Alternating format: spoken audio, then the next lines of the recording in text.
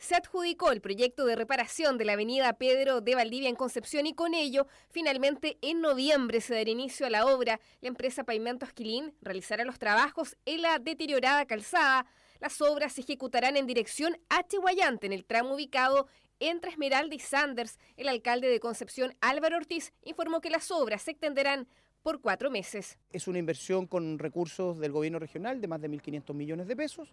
Eh, nosotros durante el mes de octubre se hace el proceso de firma de este contrato para comenzar en noviembre y la empresa tiene 120 días para poder terminar este trabajo para así en marzo del próximo año ya tener absolutamente reparada eh, esta obra, esta calle. El proyecto que comenzará a ejecutarse en noviembre en dirección a Chihuayante incluirá trabajos en calles aledañas a Pedro de Valdivia como Sargento Aldea.